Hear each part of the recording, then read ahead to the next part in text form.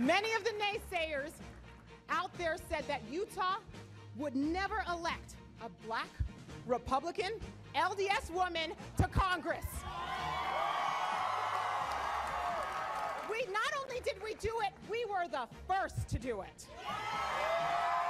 There she is, Mia Love, ladies and gentlemen, one of the big stories of Tuesday's midterms. Welcome to Gimme Five. And uh, what's important here is she went on CNN yesterday, and of course, CNN tried to make it all about the color of her skin. And she wasn't too happy about that. Here it is. Momentous for many reasons. That was Mia Love, who just won a congressional race in Utah. She is now part of this new, bigger majority for the Republicans in the House of Representatives.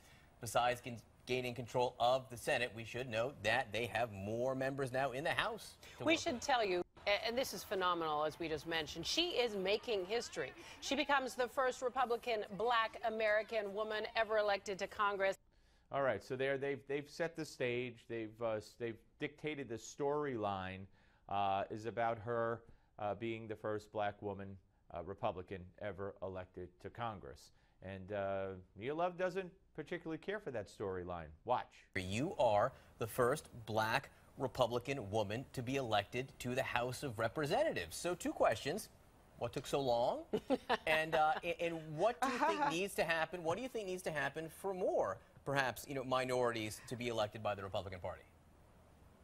Well, first of all, I think what we need to mention here is this had nothing to do with race. Ooh, what do you mean it had nothing to do with race?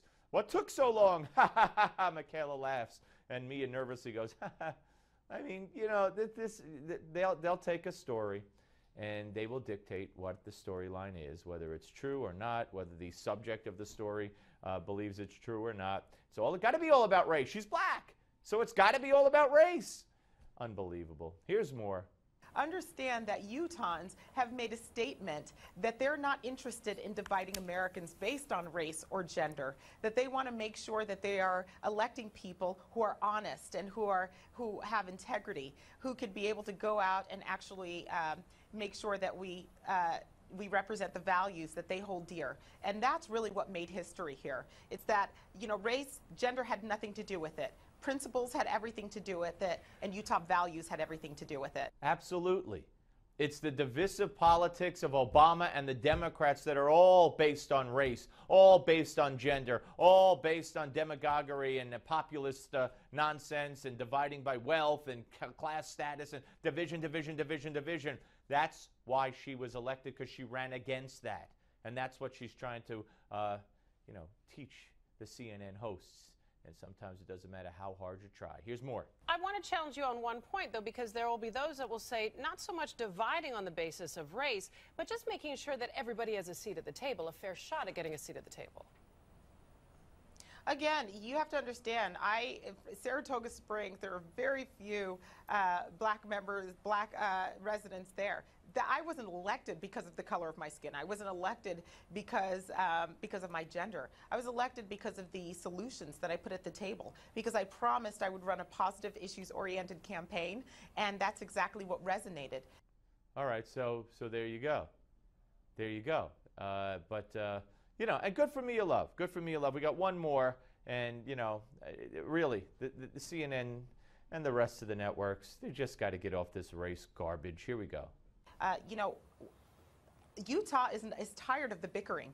They're tired of Congress not getting anything mm-hmm. done.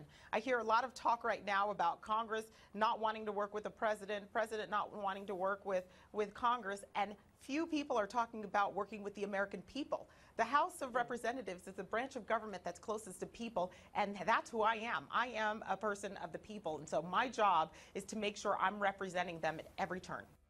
Yeah, she just wiped the floor with uh, uh, Berman and uh, uh Michaela on CNN. Enough with the race. Everything isn't about race just because liberals and Democrats like to believe the world is all about race. Get over it. It was her ideas and who she is. Has nothing to do with skin. Content of character, not color of skin.